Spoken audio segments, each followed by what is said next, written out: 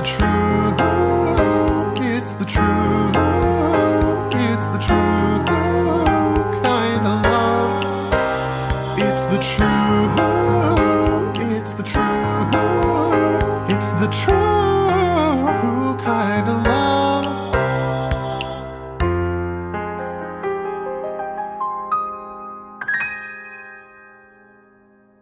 Whenever I think about Pink Diamond in this episode, when it comes to Volleyball mentioning her and her powers when it comes to her fits, and every time I look at Steven throwing the same fits as her,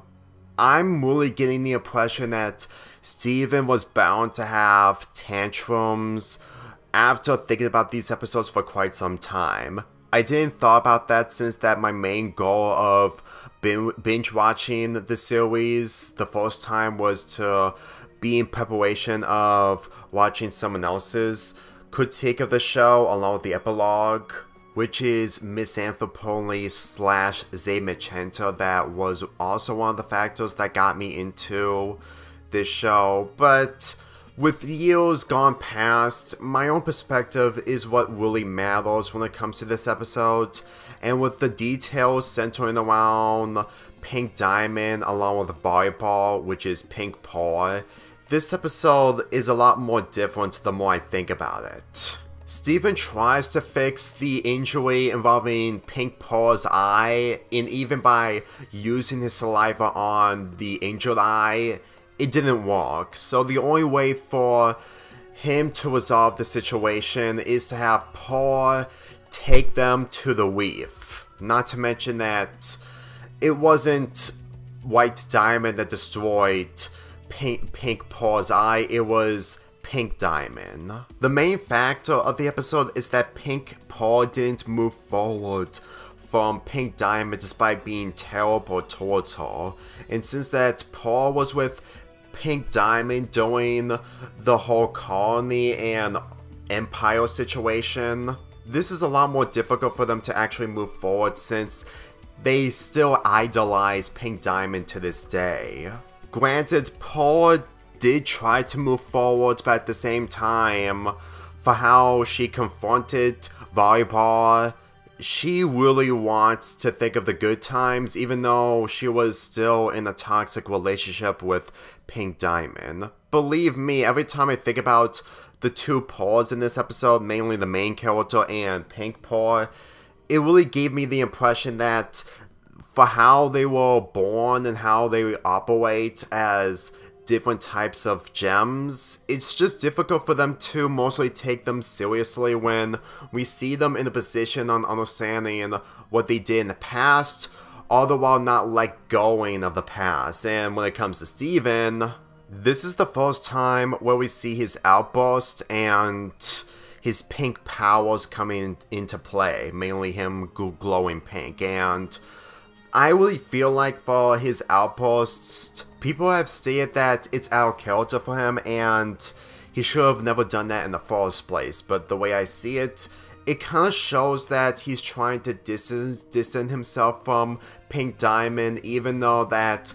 she is also her mom. Since that in the last episode, she on he only put the the picture of Rose inside of Lion's mane. And judging of how that he's just trying to figure out a solution to help out Volleyball and the fact that he can't. While Volleyball is bringing up the information involving Pink Diamond's outburst, which leads to powers of our own. I'm gonna be real with you,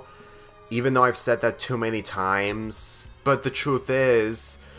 characters or people in the real world get furious over things that take time for them to unleash their anger. And when it comes to Steven in this, he has become more furious about Pink Diamond despite being mostly part of her mom Rose Quartz. And with this being the only episode where Pink Pearl gets the spotlight, all the while being in the fusion with Pearl, I really feel like that she was in so much in denial to the point that she always views Pink Diamond as the true idolizer, and the fact that this leads to Steven's outpost, believe me, if a different character who had less knowledge of Pink Diamond wouldn't also deserve to be to get outburst or lashed out by Steven. But mainly if it's new to them. And when it comes to Pink Pearl, well, the Pink Diamond thing isn't new to her, and the fact that she idolized her so much. It's just difficult to go against Steven considering that Pink Diamond has has gained on his nerves so much that he isn't going to be happy forever. And with the outbursts that he caused along with the crisis inside of the Weave,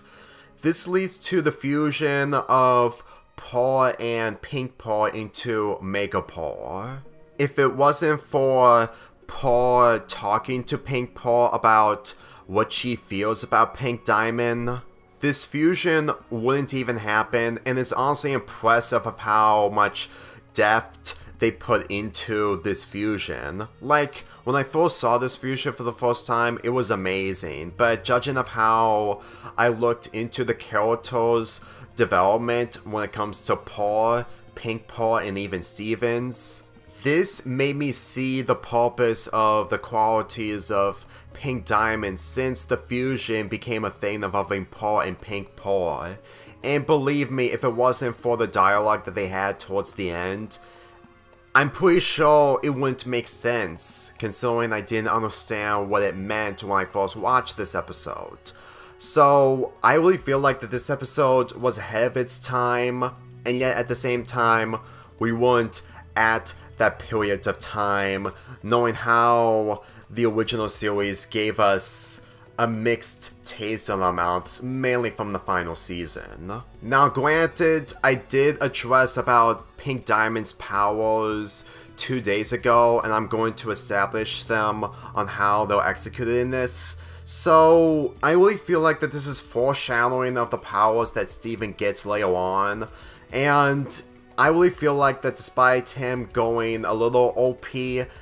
this episode really showed me that there's an example of Pink Diamond's powers that only Pink Pearl knows, while everyone else doesn't. Even though it may be difficult to believe, but then again, with so many elements that deserve more screen time, this involving Pink Diamond happened way too late.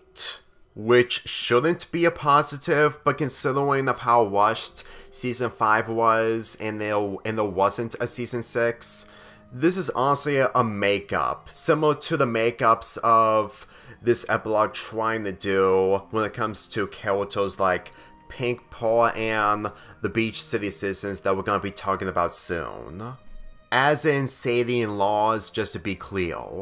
I'm giving this episode an 8.5 out of 10. You